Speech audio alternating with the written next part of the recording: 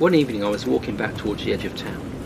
One of my regular, late in the day, dash around the block, five to seven mile circuits of what remained of the daylight. At the top of the hill I paused in the scrubby copse, then sat and just listened to the rhythmic lilting song being sung by the wind in the trees, with percussive accompaniment from the calls of blackbirds and the branches above me drumming against one another. In the end I sat until it was dark, so beautiful was the ethereal music. Spend enough time outdoors and you begin to perceive the countryside differently. This is an ancient landscape, one that our modern sensibilities are barely able to perceive.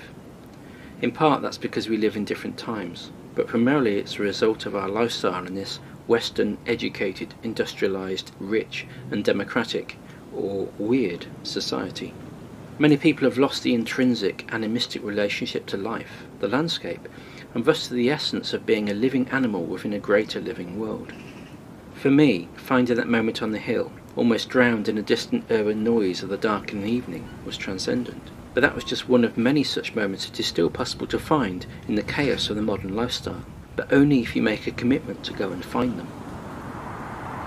If we have lost something intrinsic to perceiving a natural life, we will not find that again in some mythical distant past through invented stories, conjured to fill the holes in our modern lifestyle. Likewise, archaeology or anthropology, over their history, show themselves to be fickle sciences, subject to the bias of the observer. And if you want to find new ways to live, nostalgically looking back to some better imagined past can't dictate our future course either, if only because, more than likely, it never existed. And what of all those TV natural history films, buried in rousing mood music and anthropomorphised views of the creatures humans find cute? They tell us far more about what's wrong with how we view the world, rather than giving us an honest view of the world state and our place within it. No, a more sensible relationship between modern humans and the planet would not be found in a book, on the internet, on urban protest lines. We will not buy it in the shops, and politicians cannot enact laws to make it. We need a change in perspective.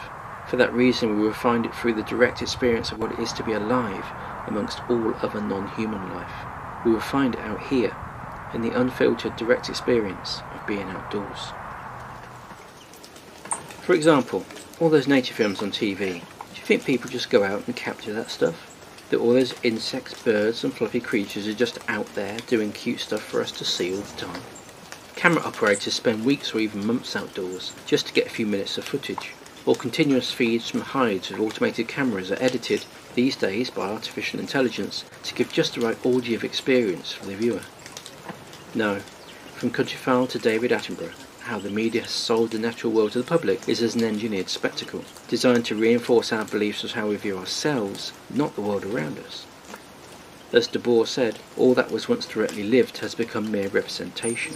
We see an abstracted view of the world in the mass media, then future reports abstract that abstracted view further in order to meet our simplified expectations until eventually it only represents a bare semblance of its original self, and as we have no direct experience to compare with, we do not know this to be the case. That lifestyle is not real, it's not natural, it's a highly biased human construct designed to reflect an imagined view of ourselves, and certainly not our objective place within nature and the Earth's environment.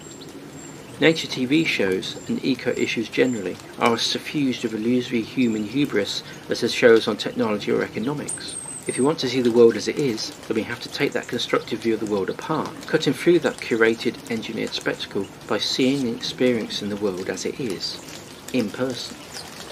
If COVID should have taught the public anything, it is that, irrespective of any claims to the contrary, politicians and technocrats are not in control. Just as, a decade or so ago, the financial crash demonstrated economists are not in control either.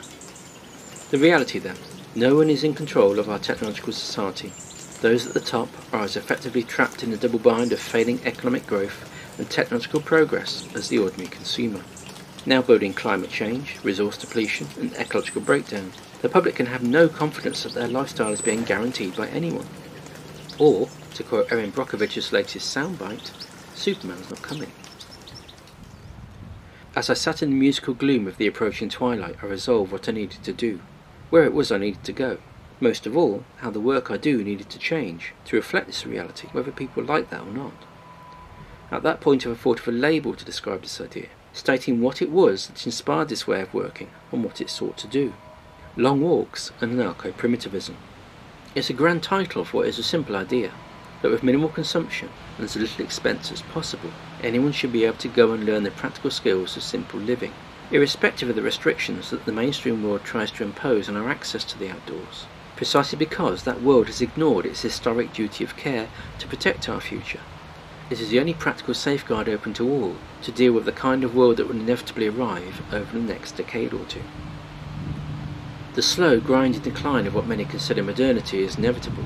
This overdeveloped, econometric worldview shows itself incapable of the kinds of change necessary to avoid this, and even many of the people out to save the planet are still blind to this reality, as they personally find it so challenging to their present day lifestyle. In this new blog, I'll produce information and videos to help those who wish to learn the skills of living simply, amidst the madness of our modern day world. And yes, just like all that nature stuff on TV, this too will be a curated collection. The difference here is that your challenge is not to see what is being shown to you, it is to use the information to try out these activities for yourself. You take the basic skills shown here, but you must find the experience to give those skills meaning as you see it.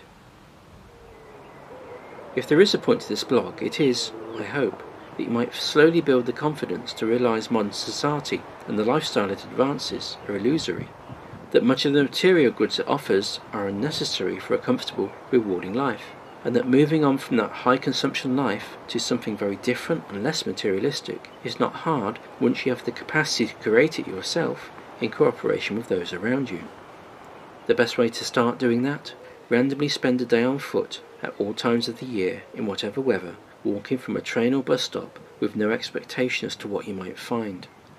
If you really want to see the world, then dispose of any plan or pretext. If you only go when the sun is shining, you will only see the world for a fraction of the hours in the year. If you only go at noon, then you will miss the dusk, dawn and twilight world. If you only walk in the day, then you will miss the beauty of the world at night. If you only go when you feel happy and energetic, how will you experience what the natural world can do for your spirit when you're sad? Yes, that's difficult, because change is difficult, but the purpose of the blog is to introduce you to the basics of what you need to do this, which will hopefully make it easier. If there's a solution to our present problems, then it is not to be found in yet more technology.